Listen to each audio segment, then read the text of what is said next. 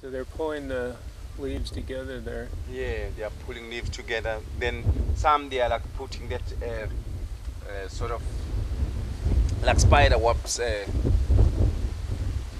Like a spider web, yeah. yeah, they are sort of So there's it's one like a tailor in fact because he's doing weaving or shrinking it together with those. there's one that's And the other group is like holding, pulling those leaves together on the right position.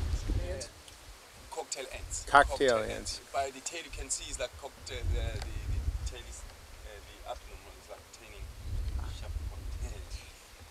And uh, the community they used to cut this off, and then they, they weave the papyrus grass uh, basket to trap to trap that they weave with papyrus grass. Oh. And fish will come and feed on these ants, and there's eggs there, and there's like thousands of eggs and there's a lot of ants. You can see there how many there are. wow.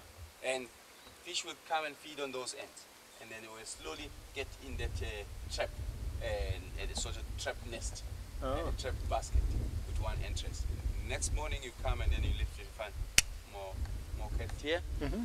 Then you take the alupa verbiata leaf, Mhm. and then you stick it the other side.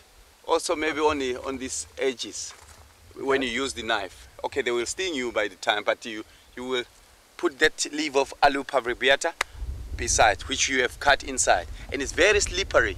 The alupa verbiata. Okay. I will show you the leaf of the alupa. And then they can't get by it. And then they can they, they can't come through the other side. So you keep on hanging like this. oh, okay. They fight and fight and fight and end up.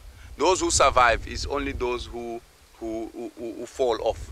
But those who, who stick on this nest, they will reach to the fresh uh, water. But always, you don't have to take from the distance, this much distance. You take from little bit uh, close to the rivers where Right. you're gonna uh, trap your fish.